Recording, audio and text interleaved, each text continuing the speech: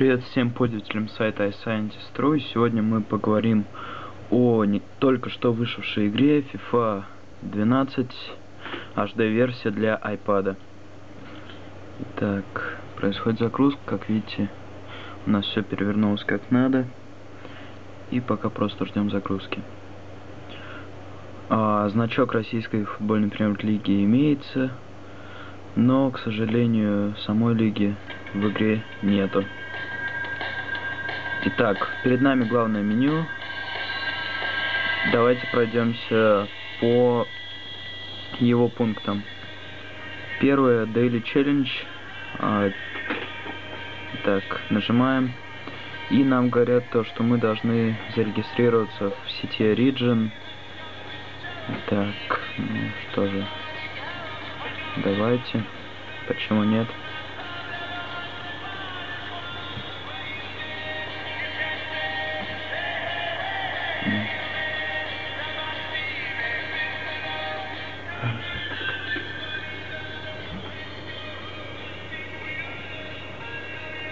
Итак, проверим, зарегистрированы ли мы. Да, мы зарегистрированы в игре. И, итак, больше ничего не будем делать. Еще раз нажмем на Daily Challenge. Итак, Daily Challenge. Э, мы играем за Интер Милан против Милана. И мы должны победить в игре. Э, и при этом мы начинаем с стандарта с 72 минуты матча. Итак, и каждый день вот такие различные задания доступны вам. Итак, дальше идет менеджер мод, это карьера, можно создать новую. Вот перед нами все лиги, Бундеслига, серия А, серия Б. Итак, вот, извиняюсь, я очень ошибался, есть российская премьер-лига.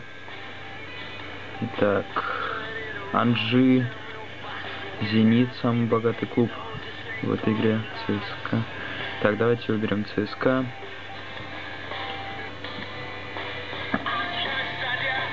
Так, это даже очень хорошо, то, что есть российская премьер-лига, так как многие любители этой игры на компьютер ждали э, российской премьер-лиги на iPhone, iPad, и, как видите, она появилась, долгожданная наша.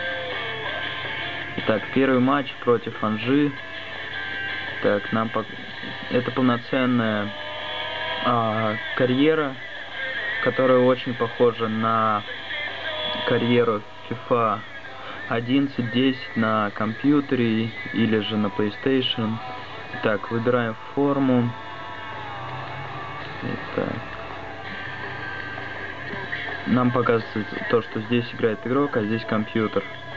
Итак, можно э, сделать так, чтобы за нас компьютер сыграл игру. А потом можно выбрать время тайма от 2 до 10 минут.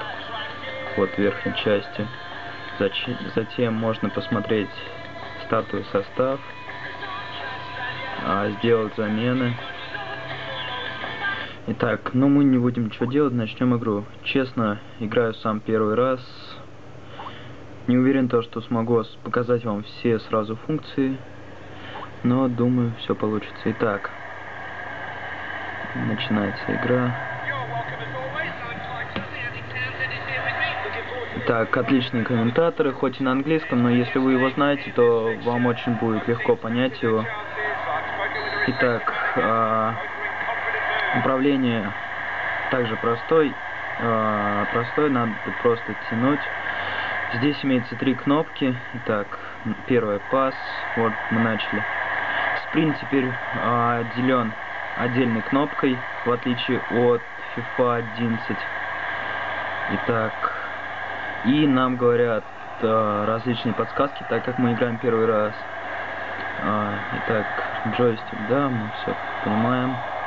Итак, просто нажать на экран, это будет пас или смена игрока, если у нас нет мяча. Итак, спринт. Trying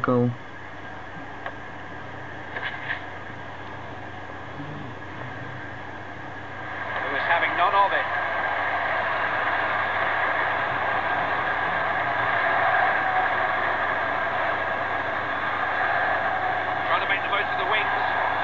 Needs to come up with the right ball in. А, штанга.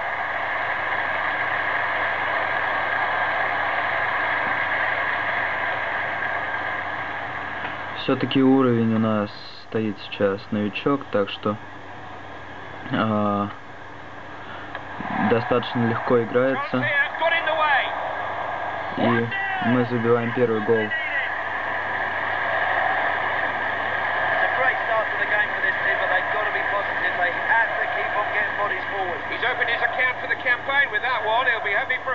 Итак, можно включить повтор, посмотреть его. Его можно сохранить. А, все можно 15 сохранений сделать. Затем придется удалять. Итак, а, меню паузы. А, здесь показывается команда, какой счет, сколько времени осталось. Потом повторы, управление командами, куда мы сейчас зайдем. Итак, стартовая, стартовая 11 игроков, где мы можем сделать замены и нам показывается, сколько сил осталось еще у игроков и насколько они сильные. Нам показываются их числа. Итак, также мы можем э, изменить тех, кто пробивает штрафные, угловые, пенальти, выбрать капитана, а также выбрать тактику. Итак. А затем идут сами настройки игры, куда мы как раз не заходили. Давайте мы сейчас зайдем и посмотрим. А, уровни сложности это новичок, а потом непрофессионал, полупрофессионал, профессионал и мировой уровень. Также можно, если вы играете не на уровне новичок и полновичок, то можно включить-выключить э, э, помощь при определенных ситуациях, когда вам надо отобрать мяч. Также можно включить-выключить травмы, офсайды, нарушения. Можно сделать так, чтобы нам больше помогали в смене игроков. А, что можно включить-выключить э, углов, э, выбросы из-за штрафной руками. А, можно сделать, чтобы происходил пас автоматом. А, затем же мы можем выбрать э, отображение в самой игре. А, мы можем включить-выключить голы а, и время, которое нам осталось. Потом мы можем а, смотреть камеры, их, как вы видите, не так уж и мало. Высоту камеры, потом приближение камеры, радар включить-выключить. Потом можно включить-выключить имена игроков, комментаторов, потом можно звуки, потом можно включить, оставить, чтобы играла музыка девайса, а не игры. А, и затем настройки управления можно включить, чтобы был маленький а, джойстик и маленькие кнопки можно сделать, чтобы они были большими.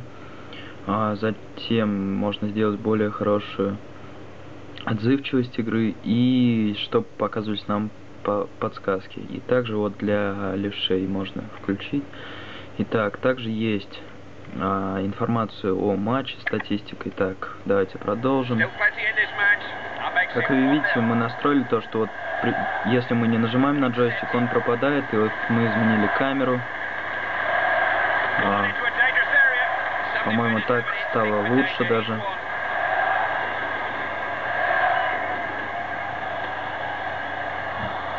Итак, я думаю, вы поняли а, про карьеру. Давайте выйдем в меню. Так, да, первый матч можно проиграть. А,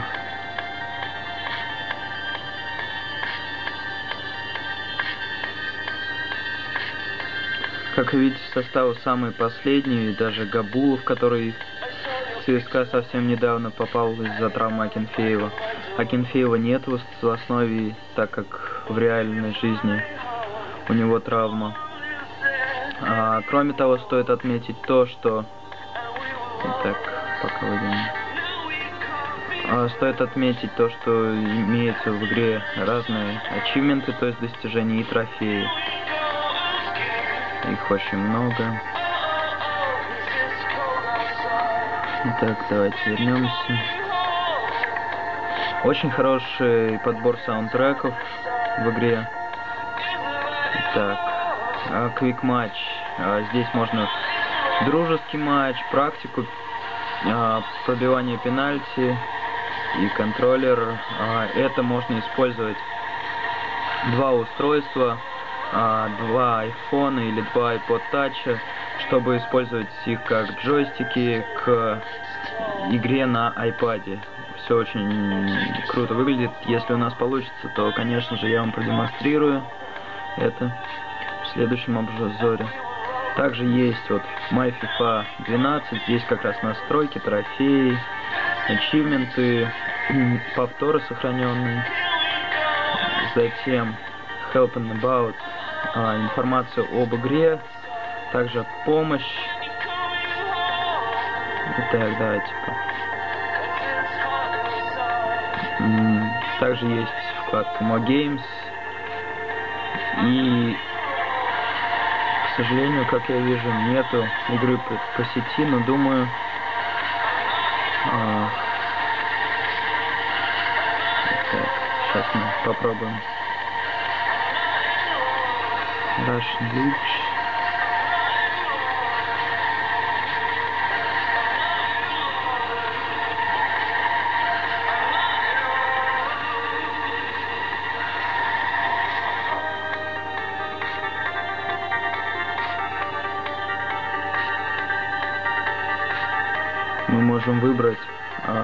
Какую команду мы будем играть, за какую будет играть компьютер.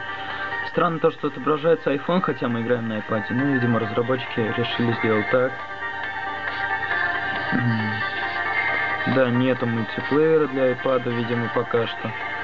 Возможно, все будет так же, как было с FIFA 11, когда мультиплеер появился только после второго или третьего апдейта. Так, это был обзор игры FIFA 12, которая вышла а, совсем недавно для iPad. А, с вами был Ник 1004, специально для сайта iScientist.ru. Спасибо за внимание, до скорых встреч.